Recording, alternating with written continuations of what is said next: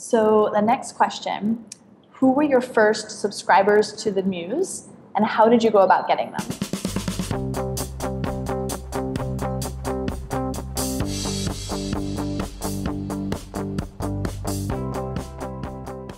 We had around 20,000 people visit the Muse in our first month.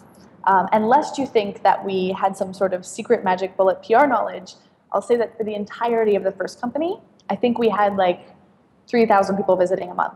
You know, we were like 3,000 people, like 4,000 people, like 5,000 people. It was just like this tiny little, um, but we kind of were able to crack a couple things on the Muse and um, and use that to get awareness because you do, you know, ultimately you do need for people to have heard of your startup in order to understand if it's working, to get users, and to convince investors. Actually, this is not the question you asked, but I'm going to just derail for a second to talk through um, one of the reasons we focus so much on traction and user growth in the early days is that we did need to raise funding at some point because we knew for our model we wouldn't necessarily be able to be profitable right away.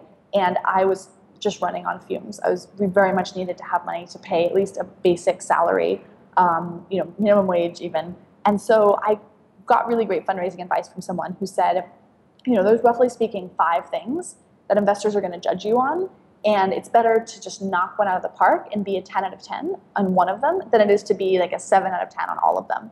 And the things are, you know, there's your idea. Like your idea is so brilliant that an investor like hears it and has to invest. That's very rare, but it happens. Two is your technology like the product or the technology is just so cool or so patented that like after playing around with it or kind of seeing it in action, an investor feels compelled to just give you all their money. Also lucky, but also somewhat rare. Um, next is team.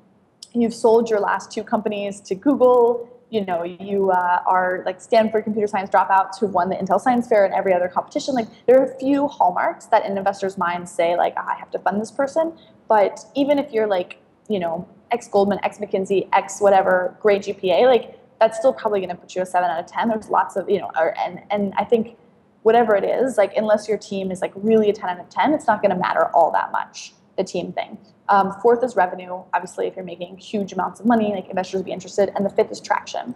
And this was the one that we knew we were going to have to compete on because investors didn't necessarily like love our idea. Some of them really liked it, but no one was going to say like, "Ah, oh, that idea is genius. I have to give you money."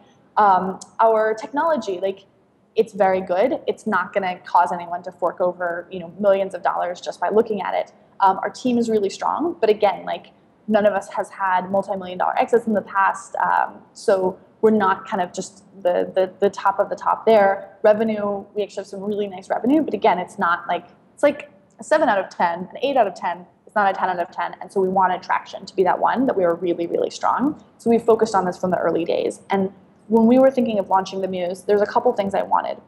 Um, one was I really wanted uh, a tech publication to cover us, and I spent a lot of time pitching different tech publications, trying to get the word out. Um, in the end, the way we were able to um, get coverage was partially because I met someone who worked uh, at a big tech publication while I was at a wedding. And you know, I didn't know what she did. We became friends we talked about the company. She thought it was a great idea, and that led down the line. So I found that often a lot of the, the good coverage that we've gotten has come from me going to events and networking and just getting to know people and, and trying to do that in a very um, genuine way. And some people, like, I'll meet reporters and we'll become friends, and they won't write about us for a year. But eventually, if there's something that, you know, if they like what we're doing um, and they hear something that's, that, you know, they think there's a relevant piece there, they'll write about it. And so um, I think that's great. And I think it's sort of a long term game.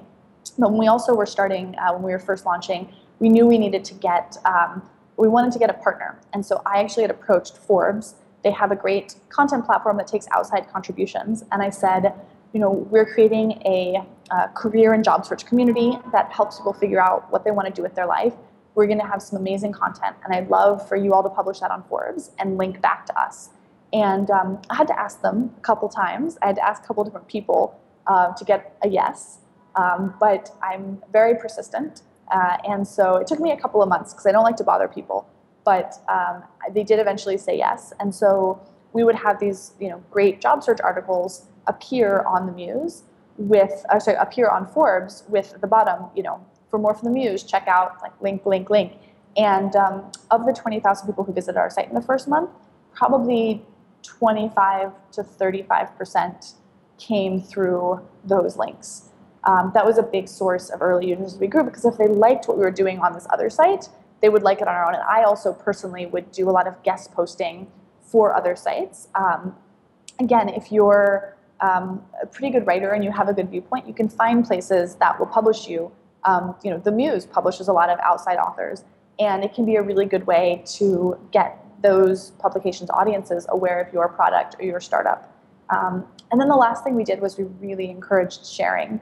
So we obviously made, you know, we had a lot of um, things on the site that were kind of easily shareable. We uh, really asked people to share. I actually um, briefly had my Gmail account shut down because I sent emails out to so many people saying, hi, like, I'm launching a company. I've never done it again. I think it's not good to abuse people's email addresses, but uh, I did it once and it worked really well. I, you know, sent this like short, sweet, to the point email with a sample tweet and Facebook post in there, and I was like, "You guys are all friends, people that I've met, people I care about. I'm doing this. I'm so passionate about it. If you like what I'm doing, I would really appreciate if you'd, uh, you know, feel comfortable sharing." And um, and a lot of people did.